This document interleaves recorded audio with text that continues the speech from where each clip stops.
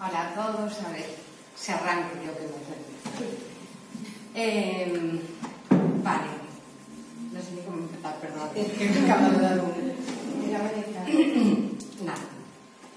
Bueno, eu cheguei aquí, eu, como, como xa comentou Merchi, antes eu era arqueóloga, e no momento da crise pois quedamos en se traballo o 90% dos dos arqueólogos, eh, vale, pero iba combinando con, con traballos en hostelería, con camarera, con todo eso.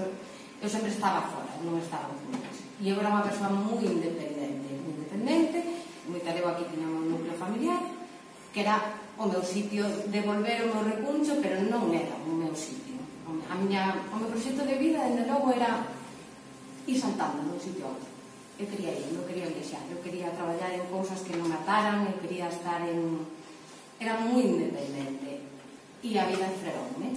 dixome, pois, non cando estaba a piques de, de emprender o, a marcha ao estrangeiro primeiro estivera en Madrid volví a Compostela no momento da crise eh, estaba traballando en camarera rompín o ombreiro esquerdo e non o recuperei máis entón, tuve ese traballo e acabouse a, a traballar en hostelería. Obviamente, mm, por iso que supuxo que persoalmente me viñese moi en baixo porque pasas de ser completamente independente, bueno, completamente, desde cando necesitabas, claro, a axuda económica e persoal de casa, pero tiñas ese colchón sempre e esa cosa.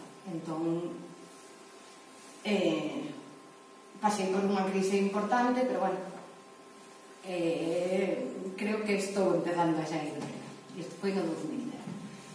Entón, tardei ainda dous anos, de feito, estaba con breiro roto, eh, para, para explicarvos un pouco como son eu, estaba con breiro roto, estaba, seguía vivindo soa e facéndome todo soa. Miña nai vinha de un en traíame comida, facíame cousas e tal, pero eu facía absolutamente todo sola, porque daba e o que non daba, pois non o facía, e xa está, non pasaba nada. Sempre coa esperanza de recuperar e volver a, a todos os nesa crise de non vou facer agora onde me van a querer así, que vou a poder facer porque non teño nin capacidades, nin cualidades nin tal para facer outra cosa. Entón volvín a cultis, dixen, bueno, pois pues, acabouse, non hai máis onde quitar non podo seguir vindo sola, volvín a cultis a casa, e tiña miña avó e miña nai miña nai coa libraría, podes eu botaba con a man, con calmo, se sabe moito a libraría, cando os libros, se guitarras, o sea, que era un con espazo pato me sentía cómoda. Me alguien enferma e me toca quedarme, claro, dime, quédate, quédate ti, bueno, pues, claro. Resulta que eu como arqueóloga tuve que ser autónoma, como moitas veces. Ben, pois, ni siquiera me puiden beneficiar das axudas que hai para muller, para mulleres, perdón, para familiares que sustituen a un tal que paga moito menos de autónomos, non? Porque non pasaron os anos suficientes para darlos, o xa estábamos pagando dous, mm, dos autónomos ao mesmo tempo. E ao mesmo tempo, tiña que encargarme de miña nai. É verdade que tive moito apoio familiar e moita xente que me axudou. Pero o peso principal recaeu sobre mí, socialmente e sobre todo personalmente. É dicir, eu a mí mesma me, me me presionaba, pues, non estou, non, cando miña nai estaba ingresada no hospital, eu tiña que ir, a xente viña, preguntaba, che, e todo eso, e sentíaste culpable porque tiñas que estar ali e non estabas aquí, e entonces o sea, a conciliación, vai, aí fui moi consciente do complicado que é ser cuidadora. E as recaen as mulleres, o que mi irmán, que é verdade que ele estaba fora, pero ele non tiña esa presión, innú nin, nin, nin ninguén o dicía nin a él lle saía e fomos educados exactamente igual. Co cal, e miña nai era unha muller brava que, bueno, a xente que aquí a coñece ela era tal, somos moi diferentes tamén é certo o sea, ela era simpática, ela era mm, aberta, ela tiraba para diante, ela facía, ela, bueno, e eu son moito máis de outra maneira, incluso unha maneira de traballar Entón, nada, miña nai falece, e hai que tomar a decisión de seguir ou non. Claro, tens moitas posibilidades, máis non tiño. Decido quedarme e continuar. Claro, o que era algo transitorio convírtese no, no teu medio de vida. É dicir, eu estaba ali para sustituíla durante a, a súa fase de enfermidade, pero vuela contaxe, E te atopas con que non, con que tes que todo eso. E, e, e ese foi o peor momento. A cando pensaba que xa non podía estar peor, ese foi o peor momento. Uns meses despois de que falecera, porque de repente daste conta que daste conta non, ese foi un, un problema meu un, de, de logo mesmo se si miña deixa xubilase ou deixase que tal eh, e eu collese o legado que terche que, que quedar. Entón era como a xente comparábache, a xente...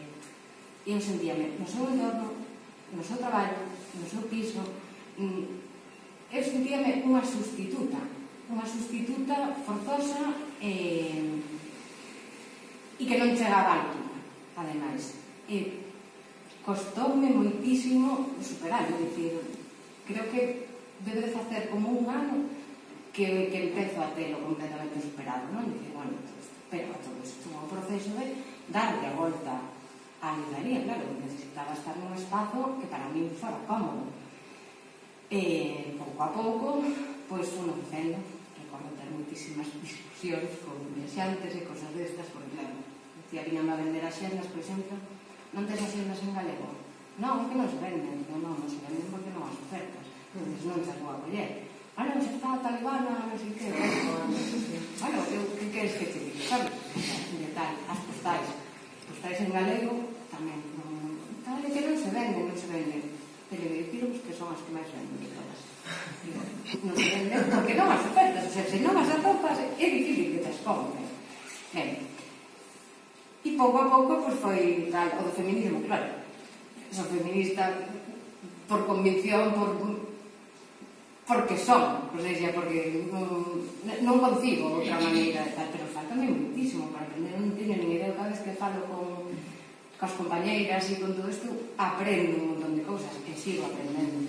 Entón, dixen, bueno, pues vamos a enfocarlo da maneira que me gusta a mí, que o que quero ter, quero ter libros de feminismo, me gustar eu, e que ter literatura galega tamén para preguntar eu. Porque me gusta, porque eu todo mundo que me sinto cómoda, E ademais, porque non vai. É dicir, mm, te vas a Cangas, vaste a, a Estrada, vaste a un montón de sitios e ao final todos temos o mesmo, porque tes que as novidades. E se está, e tes que ter o que se vende. Sabes, claro, eu tamén teño que se vende, obviamente, claro, non, non vou ser invencio, vou dicir aí, ai, Dios mío, hai certas cousas que non digo, que van cousas que veto, e que non, tal, si tú non pides,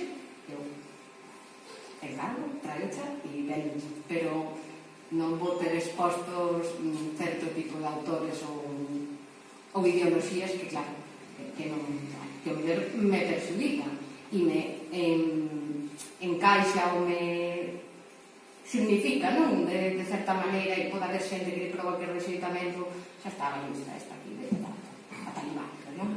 talibana é unha frase que unha palabra coa que te define moi bueno, pois é, é a maneira na que me sinto cómoda e é a maneira que tal. Pouco a pouco fomos facendo un montón de cousas e teño que dicir que tiven moitísima axuda de, de persoas que me foron enfilando. Dicen, podes ter isto, podes eh, meterte por aquí, podes ir facendo así. Cando chegou Susana Cuntis a primeira vez que entrou pola librería, xa que me como poeta, Susana, que está ali, descontita. en la que me conocía, ¿no? Y oh Dios, ¿quién es Susana? Y quedó gustado, Dios, ¿quién soy? Porque, o sea, conocía por implicada en los envolvimientos, como poeta, como tal. Entonces, todo eso. Y ya, ella también me orientó muchísimo porque controla un montón y, y como la moto no hay gente, que vais entrando un círculo de sororidades, de verdad, sororidades, pero con hombres e mulleres, eh? O sea, non, non tal. Hai un montón de hombres, tío, sempre Alberto Campos Pelicín que tiene Eu teño a sorte de que os homens os que coñezo, a maior parte, será porque vas privando no teu entorno, non? Pero están na, na mesma ideoloxía que a mí, ou, ou máis, incluso, ou máis alá, incluso saben máis. E entón, todo isto, e estamos o que estamos hoxe.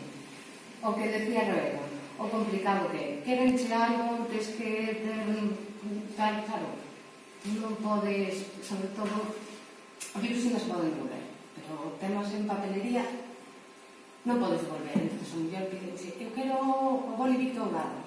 Si, sí, pero que non ti Pero para vender chupón que que comprar 20 cartas.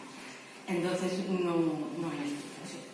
Intentas encapear o resto e logo non sabes de axudas, non sabes de onde tirar, non, non que si, que xa se pedía, como decía ela, bastal, e cando vas a, a solicitar axudas, o mellor para unha cousa, para outra, eh, resulta que tens que adiantar todo, tú vives ao día, sabes? E eu, xa te digo, eu dúas veces por semana vivo pecho. Pecho e, e me dedico non sei a que, porque non sei a que me vou dedicar. Pero é moi complicado ser emprendedor e máis nunha vida pequena, claro. É dicir, tes un montón de beneficios, pois o estar nunha vida pequena, porque nos conhecemos todos, porque atopas un mogollón de agarimo, porque hai xente que entra e que non se veña a mercar que entra para falar contigo. Ou estou facendo tempo para que me abran un que e falar contigo de isto ou outro entón te sientes moi acollido que eu que era moi urbanita que vivía en cidade e moi independente non o tiña. Non eso, pero son é bo e é malo non tamén. Porque claro tamén se meten na tua vida no que tal ainda onte me decía que o fillo pagando non? Ok, xa estamos, xa estamos contando, pois... Claro, o, o, non quero ter fillos, si, si, que, si quero ter un fillo se terei, se non o teño, ah, mm, non o tiren ata agora, será por algo, non? Digo que facilidades para telo creo que máis ou menos, sabes? E ao mellor, ao contrario, ao mellor non podería telos e tú me estás machacando precisamente lembrándome algo que non que non dá, pero bueno. Eh, en xeral a, mm, o resumo non? De, de toda a experiencia. É moi bonita, é moi positiva. Eh, que veñen as facturas a tail, tail, dar noites en dormir e dicindo, bueno, pois pues, non sei, vou pedir na longa porque xa isto de tal pero logo safando, saltas este e dices, bueno, pois pues, vamos pola seguinte historia e entón é así, o sea, estou feliz e o que vos digo, no, moitísimas colaboradoras de balde que, que me apoian un montón e que están aí, que, que me guían, que me fidan e non me sinto sola. Así que estou contenta e nada, moitas gracias por, por escutarnos.